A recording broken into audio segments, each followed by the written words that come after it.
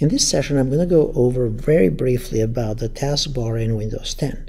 The taskbar, uh, just like in previous versions of Windows, it's been there. It's very powerful and useful, of course, giving you options for the start menu.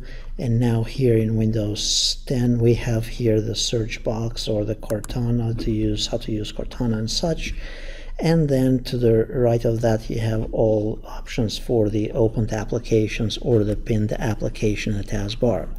Additionally, here on the right hand side you have the controls very similar to in the previous versions of Windows. However, one of the new features here is also the Action Center the Action Center. It's going to display the various things that are happening in the computer that need attention.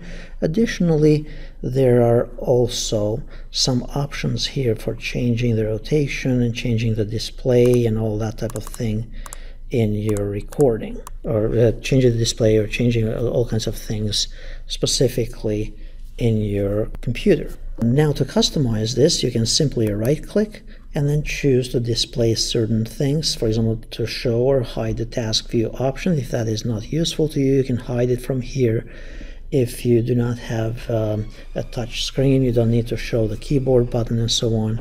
And as far as also configuring Cortana, which we'll cover in a moment here. The other thing, there are some additional options here, how to show the windows side by side or and so on. So one of the other things for you to consider is also under properties here. You can click and customize this further to auto hide the taskbar here in the bottom. Also to use small icons if you needed to uh, and make them much smaller here on the display. And additionally, you can combine certain items as well and the location of the taskbar as well, whether you're on the top, left, or bottom, and so on. Additionally, notice there is uh, also this option for notification area. You can customize what shows up in the notification area. And you can click here on customize, and then you have actions and alert alerts, and choose what shows up in the notification center as well, here in the bottom right.